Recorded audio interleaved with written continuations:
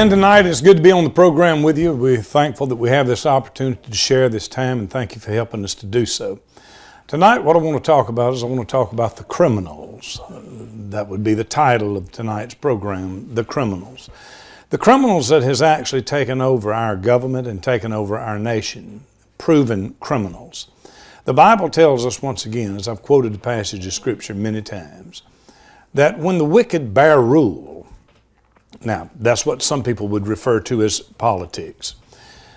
When the wicked bear rule, the righteous shall mourn.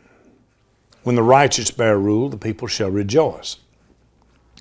America has been in the decline, has been in decline for many, many years now. Once the most powerful nation the world had ever known number one in economics, number one in power, number one in, in uh, uh, morality by all means. Our streets were safer than any place you could go in the world. Uh, we were number one in education. Now, America is nothing. And it's taken place because criminals took advantage of an emotional situation, and that was the civil rights movement. Where there was wrongs that was done in the days of those civil rights movements and things that needed to be corrected without question. The entire system of the United States of America did not need changing. But when the criminals got their hands on the power, then of course they would use the emotional issue of the civil rights movement to pass and to do, to denigrate, to lorate, and to slander anyone and anybody who did not agree with every detail of everything that they wanted to do, to, as the president uh, said, to fundamentally change the United States of America. Now, common sense bears witness of itself. And number one, if you've got the greatest economy in the world, you have to be doing something right. If you have the greatest military in the world, you have to be doing something right and you're protected. If you have the greatest educational system in the world, you have to be doing something right. If you're top of the line all the way across the board, but there's civil rights issues that needs to be tended to, then you tend to those civil rights issues and you make them right. And you keep the system that has made us number one in everything in place. You don't destroy, destroy the system that made you number one in order to correct another problem. That is what has happened in America. Now, criminals is in charge, and we know this now, and I've known it because it's obvious and plain. But now the proof is there that what calls itself a Democratic Party, and I'm not pushing Republicans, I'm simply saying what is fact. The people that calls themselves the Democratic Party has now been proven, beyond any shadow of a doubt, to be criminals you actually have the mob, worse than the mob. You have a mafia type organization running this country, and it's running it into the ground. We now see through the emails and through all of the other things that's come forward that these are bona fide felon criminals. Felony charges running across the board.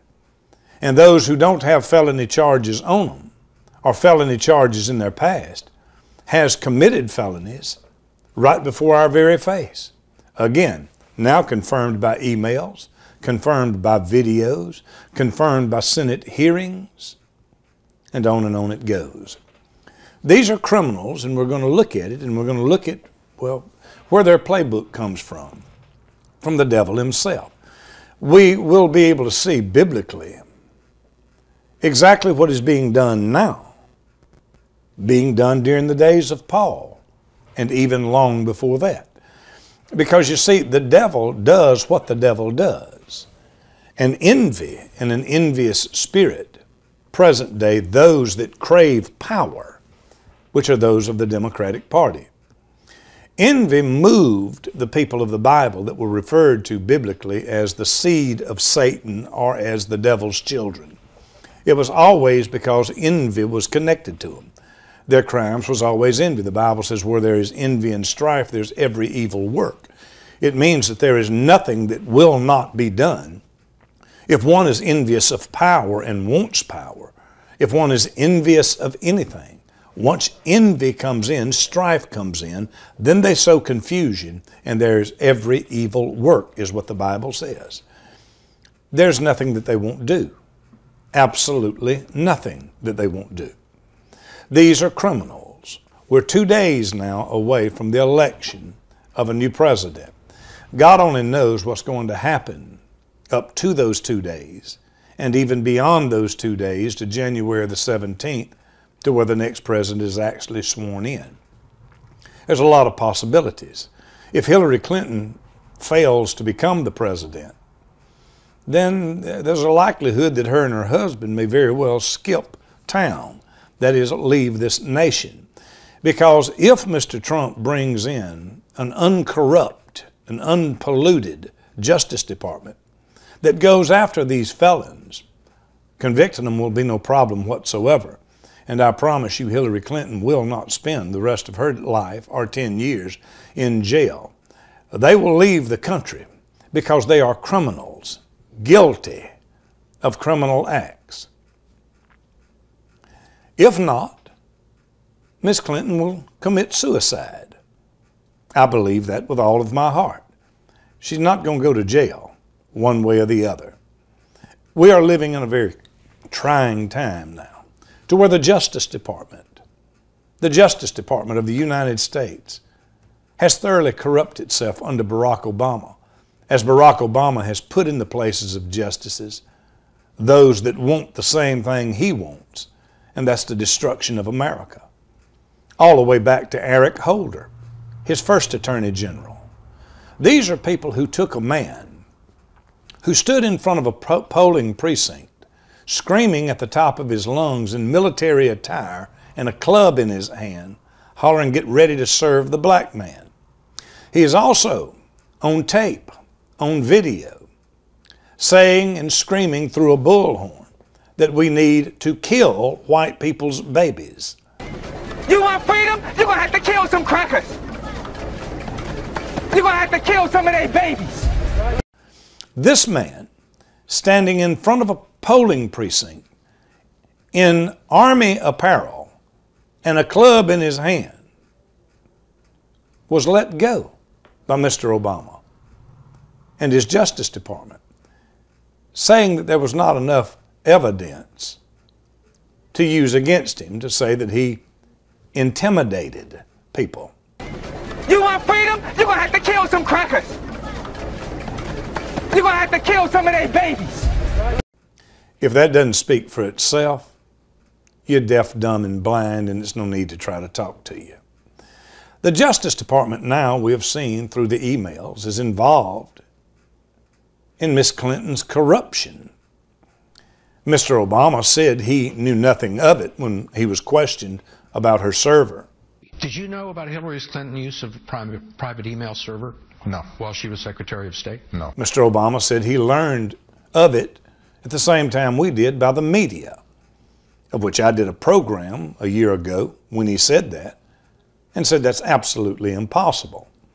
For him to expect me to believe that the President of the United States that has access to the CIA, the FBI, and every investigative office in the world gets his news from the same place I get mine, from CNN or Fox News, is absolutely ridiculous.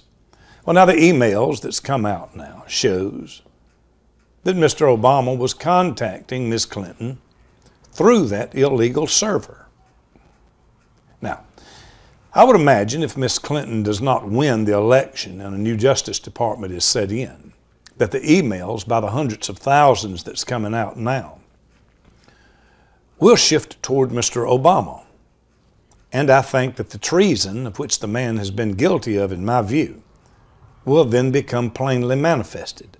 I think the emails now that's being sent out centers around Hillary Clinton because of the presidential can, uh, race.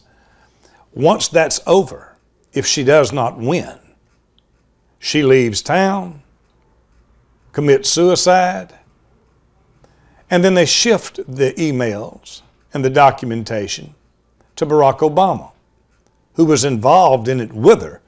That's already been proven. And I think then we begin to see what I believe to be the treasonous activity that Mr. Obama has engaged in. Nonetheless, the last time that there was a systemic injustice, that is, ruling from the top down, from the presidency all the way through the Supreme Court, the Justice Department, and the federal judges sat on benches. The last time that this was done, well, it was done again by Democrats, who has done the same thing from beginning to end. They are the same people. Now, I'm going to show you tonight the criminals. We start with Donna Brazile, this wonderful, soft spoken woman who heads up the DNC, who has now been fired by CNN because she was delivering the questions of the presidential race and debate. She was delivering the questions to Hillary Clinton and Hillary Clinton accepting the questions. In other words, cheating. But my mother taught me always that a person that will lie to you will cheat you, and a person that will cheat you will lie on you. She received the questions.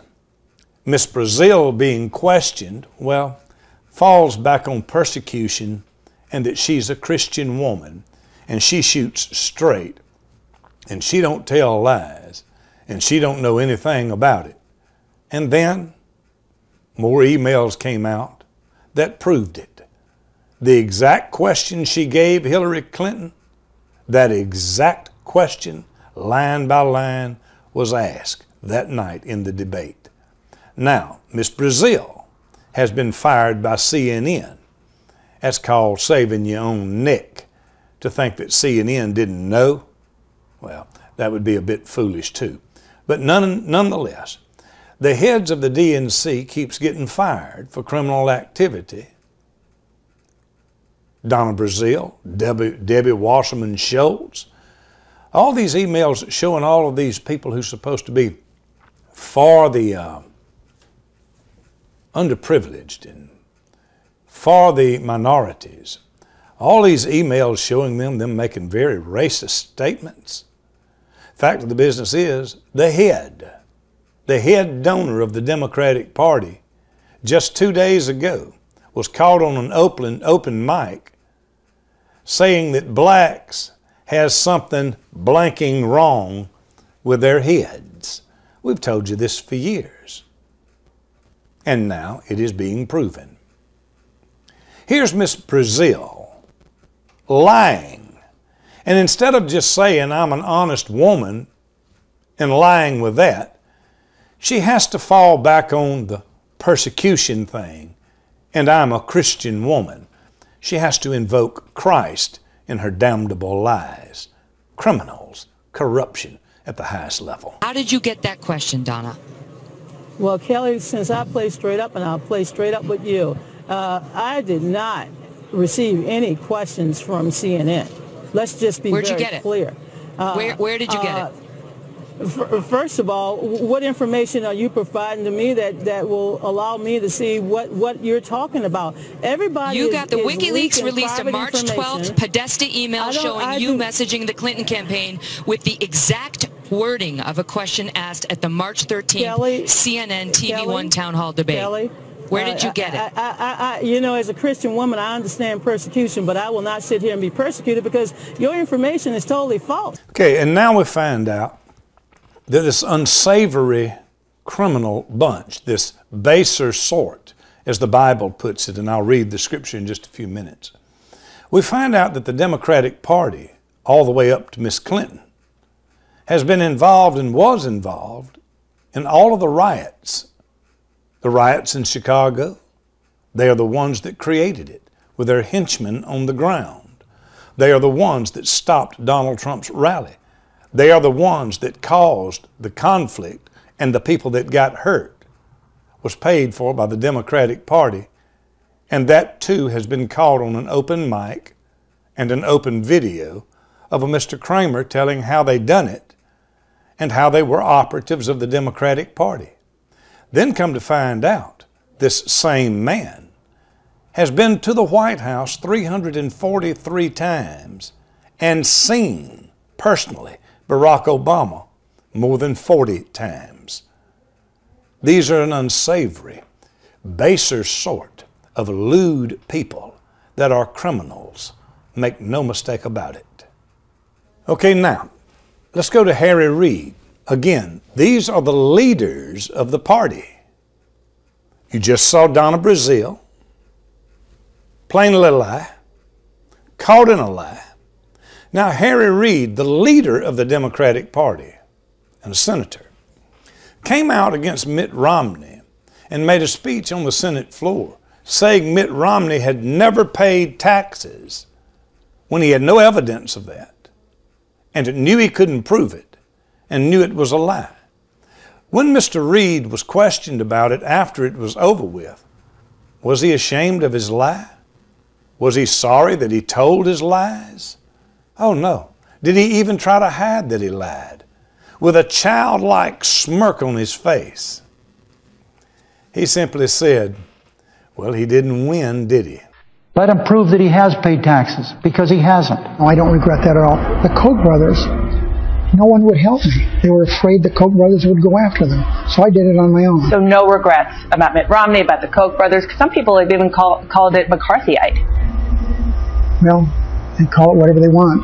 Um, Romney didn't win, did he? Well, they call it whatever they want. Um, Romney didn't win, did he?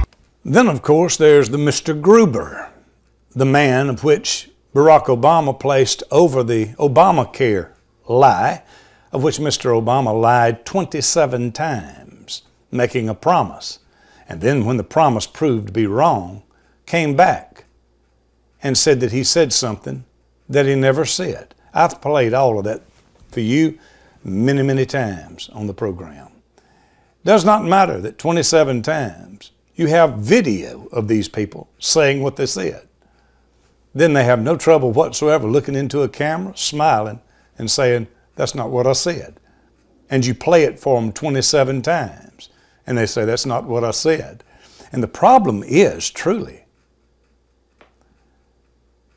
the idiots that watch them,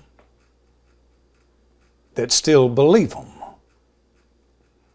Mr. Gruber, the one Obama placed over Obamacare, said he wrote the bill in such a tortured manner that the Congress would not be able to read it and understand what the law really was, deceiving the American people, and that is a crime.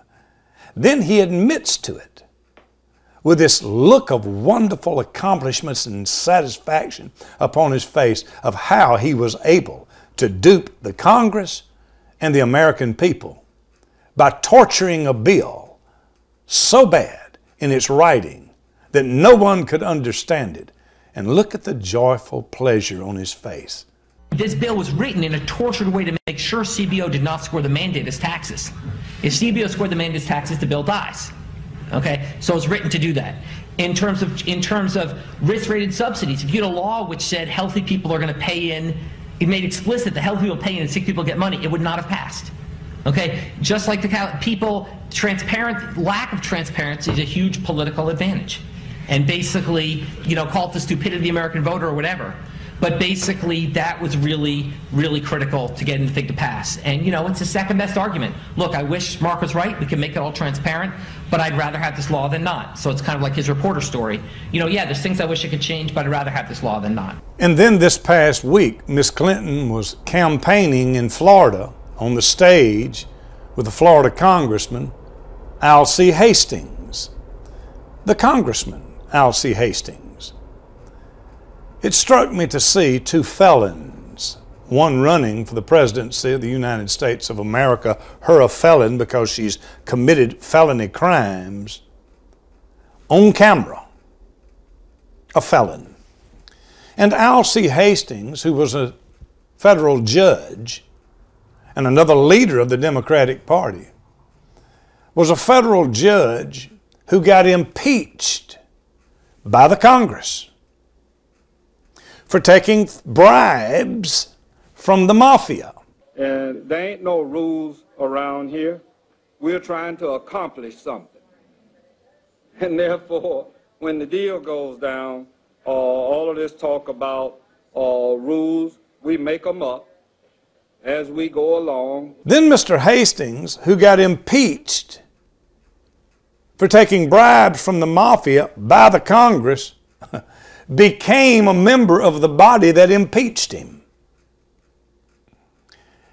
You can't make this stuff up, as they say. These are bona fide criminals, my friend, one after the other. Bona fide criminals.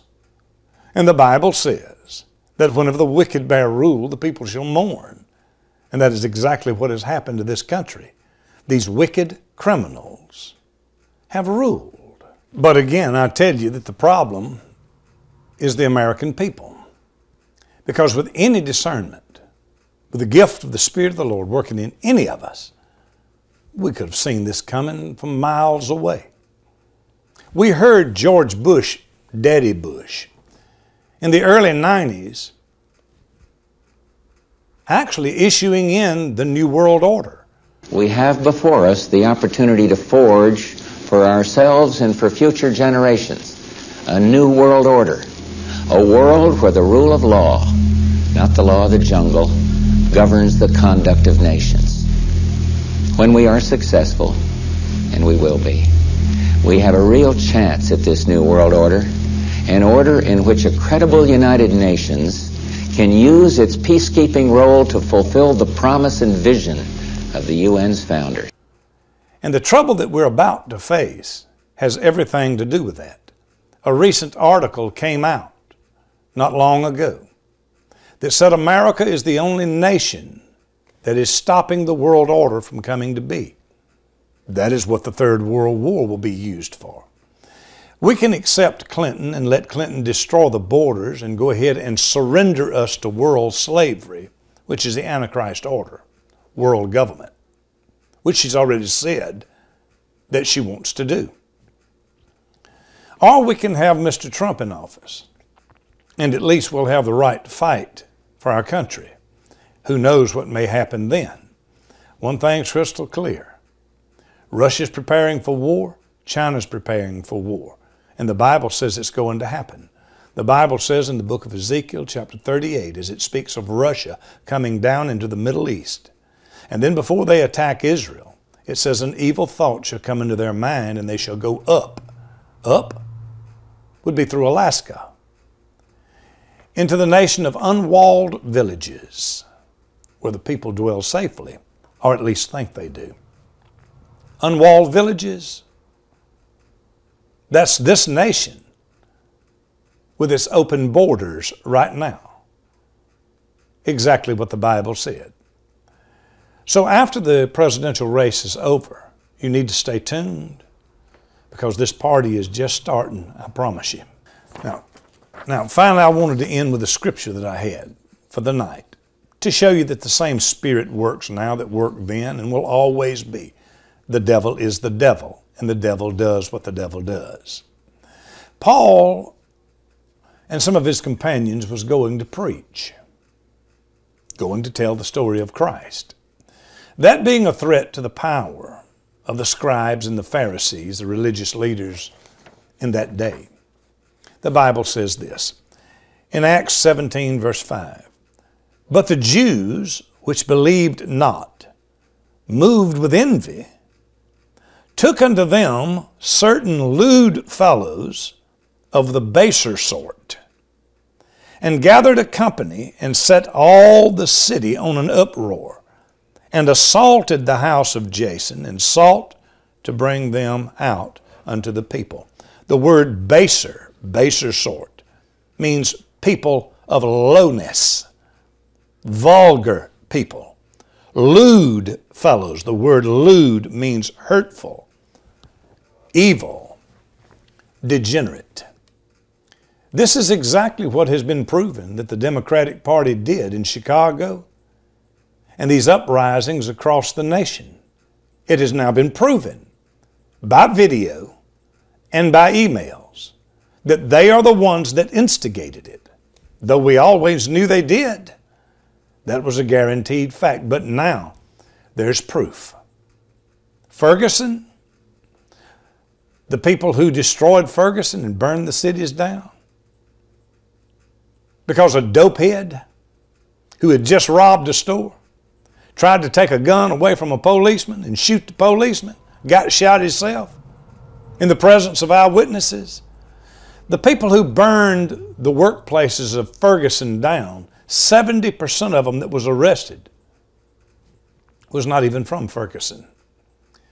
They were the baser sort, the lewd fellows, of which was organized not by the Jews that believed not as it was in Paul's day, but from the Democratic Party, as is now proved. In Milwaukee, the people that was arrested for burning and looting and destroying that city, again, 70% of them was not even from Milwaukee. These are hired guns of an evil, hurtful, degenerate bunch. They are what was organized by the street organizers.